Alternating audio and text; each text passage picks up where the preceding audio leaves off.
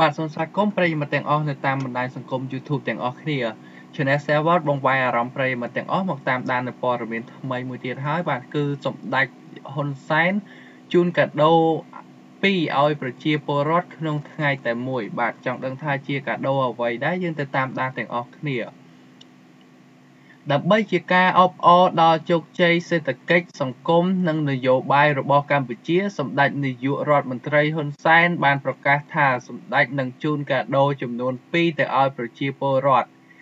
ការប្រកាសរបស់សម្ដេចធ្វើឡើងនៅក្នុងពិធីសម្ពោធសម្ពោធដាក់ឲ្យប្រើប្រាស់ស្ថានីយ៍ដឹកអ្នកដំណើរតាមផ្លូវទឹកនៅខណ្ឌឫស្សីកែវរាជធានីភ្នំពេញ នៅព្រឹកថ្ងៃទី1ខែសីហា ឆ្នាំ2018 កាដូទាំងពីរនេះគឺមានដូចជា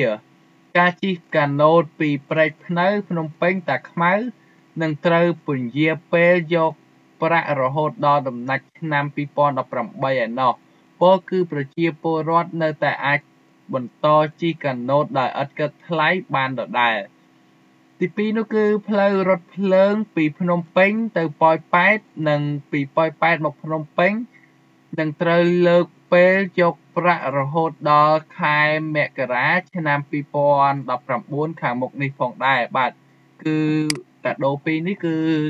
សម្ដេចតេជោហ៊ុនសែនបានប្រកាសឲ្យនៅក្នុងថ្ងៃតែមួយតែម្ដង គឺជូនទៅដល់ប្រជាពលរដ្ឋកម្ពុជាសូមបញ្ជាក់ដែរថា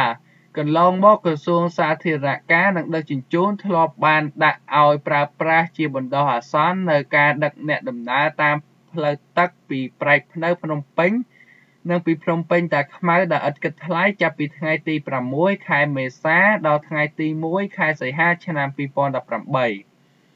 ការធ្វើដំណើរនេះគឺបានប្រើប្រាស់កាណូតចំនួន4គ្រឿង2គ្រឿងទិញពីវៀតណាមនិង2គ្រឿងទៀតគឺជួលពីក្រុមហ៊ុន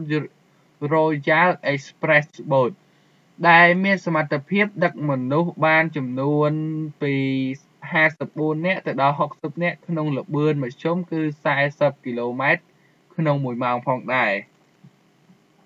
ចំណែកឯផ្លូវរថភ្លើងពីប៉ោយប៉ែតទៅភ្នំពេញក៏ធ្លាប់ត្រូវបានក្រសួងសាធារណការ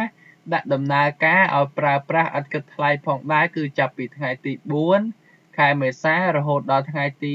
31ខែកក្កដាឆ្នាំ2018 ការធ្វើដំណើរតាមរថភ្លើងនេះក្រសួង